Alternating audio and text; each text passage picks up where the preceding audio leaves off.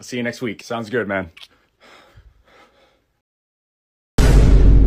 I think we just accidentally kissed. Quick, do something manly. Ah! what the fuck was that? I don't know, man. Dude, what the fuck? That wasn't manly at all. I know, I'm fucking sorry. Jesus Christ, Kevin. I'm sorry. Fuck!